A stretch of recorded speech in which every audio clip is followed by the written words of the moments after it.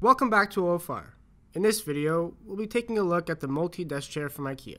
You can purchase this chair for under 20 bucks, so it's not a huge expense, but is it honestly worth it, or should you invest more money into another desk chair? In this review, I'll be answering that question by telling you some of the positives I noticed about this desk chair, and some of the negatives. So let's start with some of the good things I noticed. When I opened up the box and started assembling the Molte, it took me under 7 minutes to finish off the whole build.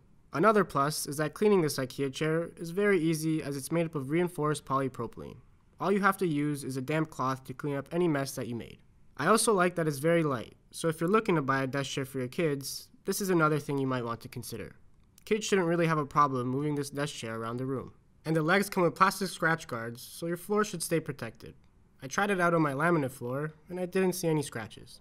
You also have the option of choosing 5 different heights you want to sit at. The height of the seat can be easily adjusted by simply taking out this adjustment pin.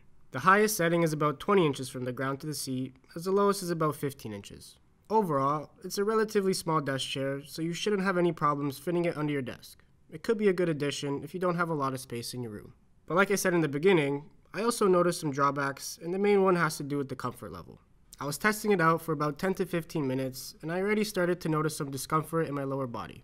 I'm thin, so that could be a factor, but I tend to be at my desk for about 3 to 4 hours daily, and from the looks of it, this desk chair wouldn't make that experience pleasant. I noticed that the backrest has some flexion to it, and the shape of it forces you to sit up straight.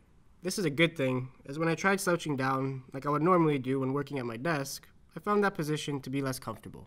You would also think that this desk chair comes with the option to swivel back and forth, but unfortunately, it doesn't. When you're done working at your desk, You'll always have to lift the desk chair back and turn your whole body to one side to get out of it. Another thing I noticed when I was sitting on the chair is that there was some movement of the seat, but I found the legs to be pretty stable. IKEA states that the Molte-chair has been tested for up to 243 pounds or 110 kilograms, but I wouldn't think that people of larger stature would find this desk chair suitable. I'm 6 feet tall and found that the highest setting to be the most comfortable. The lowest settings really look like they're intended for short adults or kids. In my opinion, if you have kids and are looking for a desk chair that's really cheap, then it's not a bad purchase.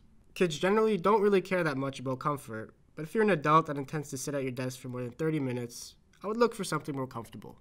Smash that like button if you enjoyed the video, and screw that subscribe button if you want to see more furniture review videos.